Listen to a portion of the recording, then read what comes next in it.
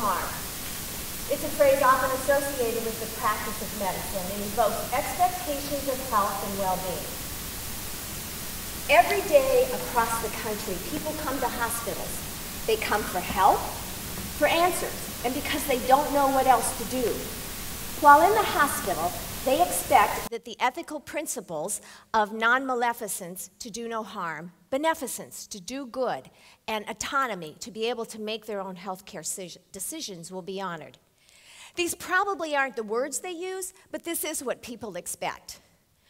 When somebody first enters the hospital, there's a great deal of information that needs to be gathered.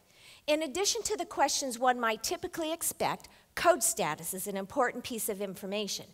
This tells the hospital what the patient wants done in the event their heart would stop during their hospitalization. Cardiopulmonary resuscitation, CPR, or do not resuscitate, DNR, that is the question. Pretty heady stuff to be discussing when somebody has just arrived in the hospital and is probably anxious. The timing and quality of this discussion varies depending on the knowledge, skill, and comfort level of the person charged with obtaining that information. A few years ago, I accompanied my mom to the hospital after she'd been seen in the emergency department. As she was getting settled, a nurse came in to begin collecting the needed information. When she got to the topic of code status, she said to my frail 86 year old mom, who was about this tall by that time, You do want us to heart, start your heart back up if it stops while you're here, don't you?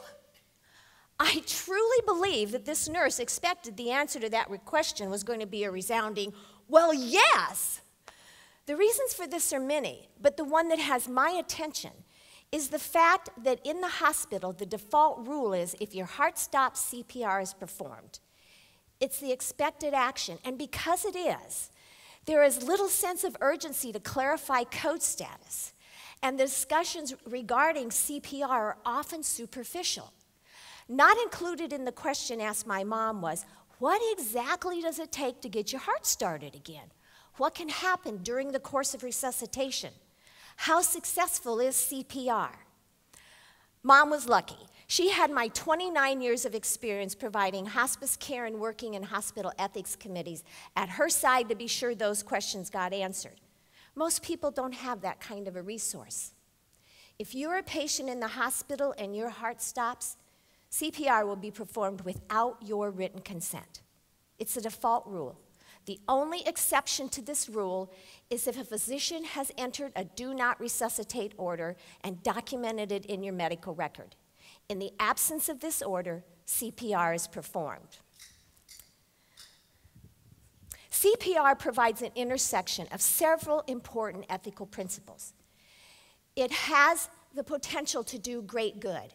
It also has the potential to do harm, which is why I'm suggesting that the default rule in the hospital be reversed, that resuscitation not occur until somebody has provided informed consent. Because sometimes CPR goes awry, it can cause an injury, sometimes irreparable. Consider this story published on May 14th of this year in the Daily News. A 90 year old gentleman with Parkinson's disease was resuscitated without his consent when his heart stopped during surgery.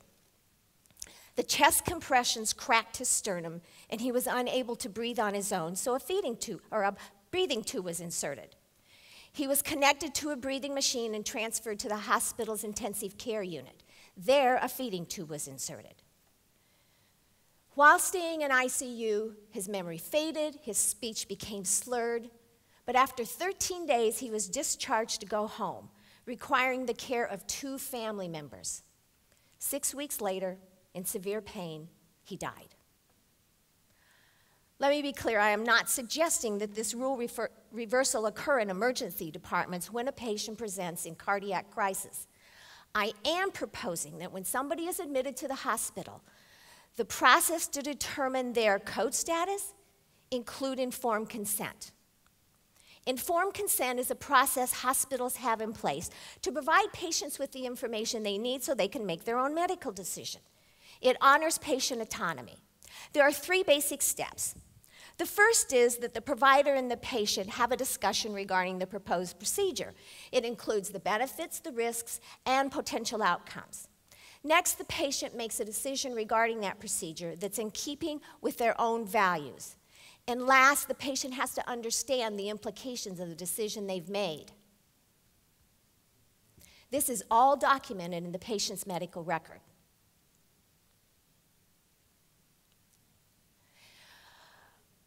When somebody is in the hospital, informed consent is one of the things that's available to them.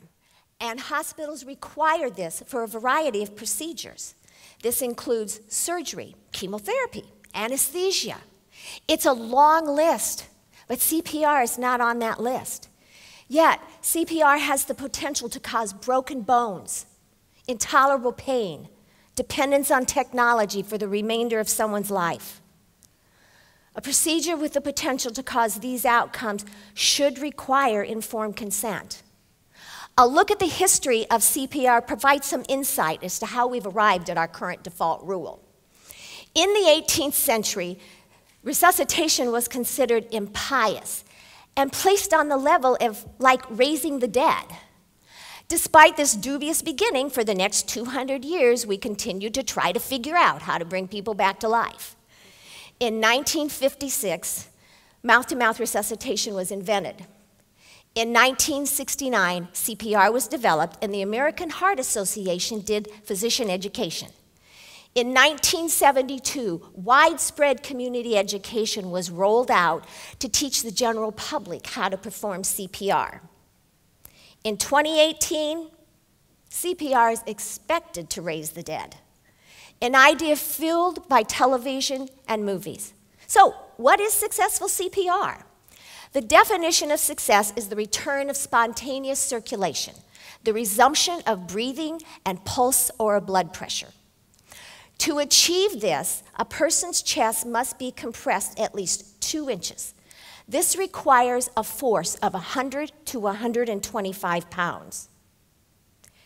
Even when successful, CPR doesn't fix other health problems a person may have.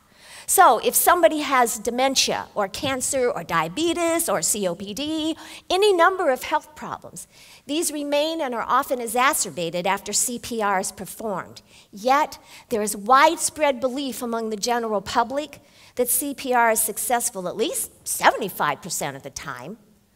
But the numbers regarding the success rate of in hospital CPR tell an entirely different story. The acute success rate this is the number of attempts that result in the return of spontaneous circulation is about 40%. But the number that has the greatest impact is the survival to discharge rate. These are individuals who survive the CPR episode and are able to be discharged from the hospital. This is between 10 and 11 percent. Research has shown the characteristics of individuals most likely to, survive, to survive CPR. As you might expect, these are people who are younger. They are also people whose primary health problem is cardiac in nature and who were functionally independent prior to the CPR episode. Even when it is successful, there can be great personal costs associated with surviving CPR, such as brain damage, a decrease in the functional level, an inability to provide self care requiring an alternative living setting. Given, these, given this information regarding the outcomes and success of CPR, I was really concerned when I received a call a couple years ago from the nursing home where my dad had lived for a few months. They reported that they found him passed out with an irregular heartbeat. So they called the ambulance to transport him to the emergency room, and then they called me. At the time, I was working a couple hours away. My dad's name was Cassius, kind of a big name for little kids to, to say. So his eight year old great granddaughter dubbed him Grandpa Casserole. Grandpa Casserole did not mirror the characteristics of somebody likely to survive CPR. He was almost 99 years old, very frail, and had dementia. It was a long drive to the emergency room. giving me time to wonder what was going to happen to my dad and to think about the ethical implications of the current default CPR rule in hospitals. There are five primary principles of medical ethics. These are to not cause harm, to do good, to use resources fairly and justly, to tell the truth, and to provide patients with information needed so they can make their own healthcare decisions. Our current default CPR rule in the hospital does not honor these ethical principles in the following ways. It may be inconsiderate of a person's values, goals, and definition of quality of life. It can cause physical and psychological harm. It can increase financial burdens through hospital costs, long term care costs, and costs to caregivers associated with lost wages, out of pocket expenses that are not covered by Medicare or Medicaid or insurance, and additional stress and anxiety. And it can create a sense of false hope when full disclosure regarding the CPR process is not provided. This impacts a patient and their family's ability to make decisions for the present and the future. Informed consent honors all of these ethical principles. Even when somebody has been determined unable to make their own medical decision, informed consent must be provided by their legally designated caregiver. In person or by proxy, people have the right to self determination, to make decisions regarding what happens to their body. In view of all of this information, my proposal is that hospitals reverse their current default rule regarding CPR that patients are not resuscitated unless they have provided informed consent. So, why would I make a proposal that is probably controversial, that conflicts with hospital culture and community expectations? This change will align CPR with other invasive hospital procedures that require informed consent. It will provide patients and families with information not typically available under the current rule, allowing them to make better informed decisions. And it will, uh, it will enable patients and families to look at all the care options available to them and have discussions regarding important end of life issues. The primary goal of cardiopulmonary resuscitation is to prevent premature death. It is not to prolong inevitable death. Is this proposal controversial and provocative? It is. Does it challenge the status quo? I hope it does. We are in desperate need of a cultural shift regarding the way we consider and communicate about the end of life. Sometimes cultural change requires a disruptor.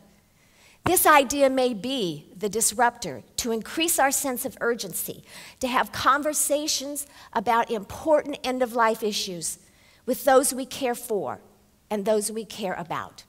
Thank you.